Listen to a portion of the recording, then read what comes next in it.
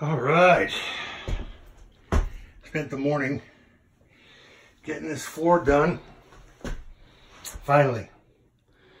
Got it buttoned up. Gotta go get some more materials. I mean, it turned out fine. Strong.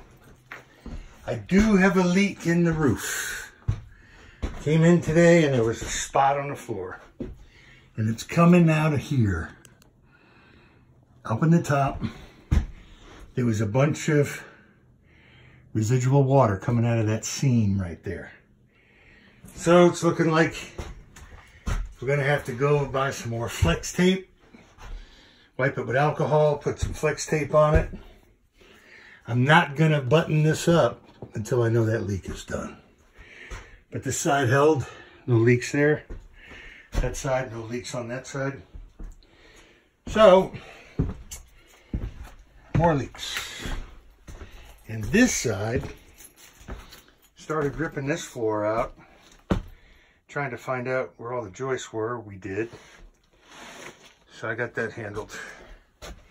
Now I got water up in here, in the ceiling in the living room. So I'm going to have to rip that apart and uh, spend a half a day up on the roof and there's still water laying in there. So I'm going to rip all this out. I got to go buy some more materials. I used up all my plywood.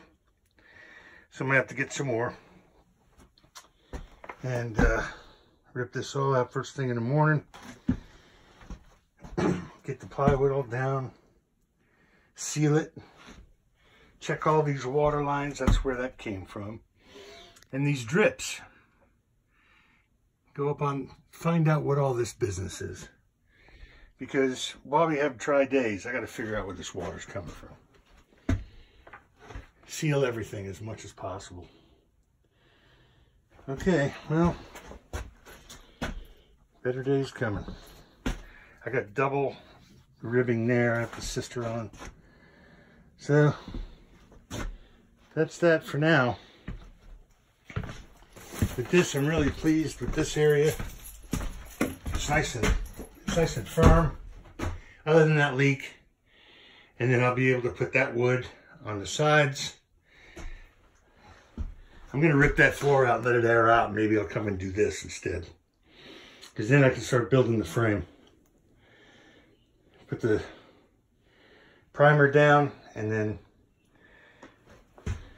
start building the frame for the bed. I think I'm gonna try to get it up as high over this door.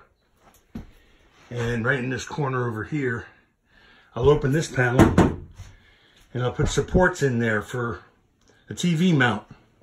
Mount the TV there so you'll be able to watch TV. Okay.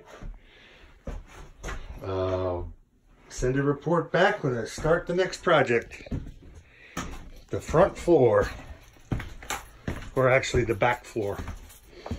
I'm gonna, I want to get this thing ripped out and buttoned up tomorrow. All right, that's it for now.